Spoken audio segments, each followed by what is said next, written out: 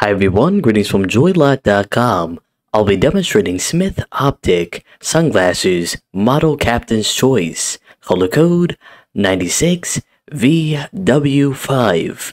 The color of the frame is a matte Havana, the lenses are a blue polarized mirror. They have a rectangular wrap shape. On its temples, you'll find the Smith Optic logo.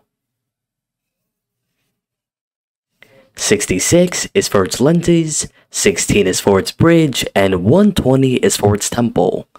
The glasses come with a box, a case which color and style may vary, and a dust bag.